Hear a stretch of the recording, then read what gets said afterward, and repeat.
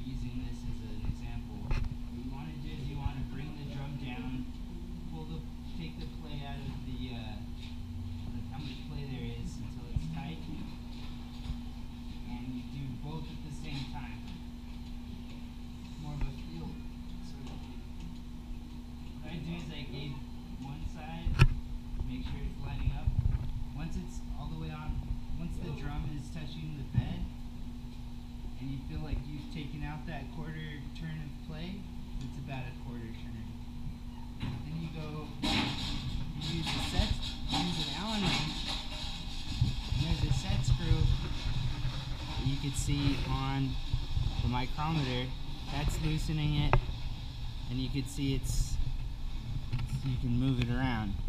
So since we've taken the play out and we know the drum is touching the, the bed on both sides evenly, we line up our zero and there's A, there's the first line.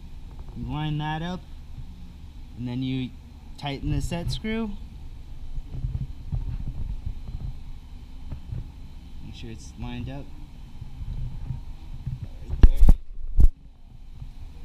tighten the set screw and you do the same thing to the other side.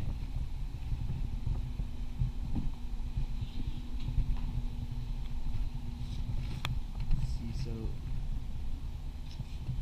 on this side you can see the very bottom of the letter A, the line, the line that goes up, and the zero.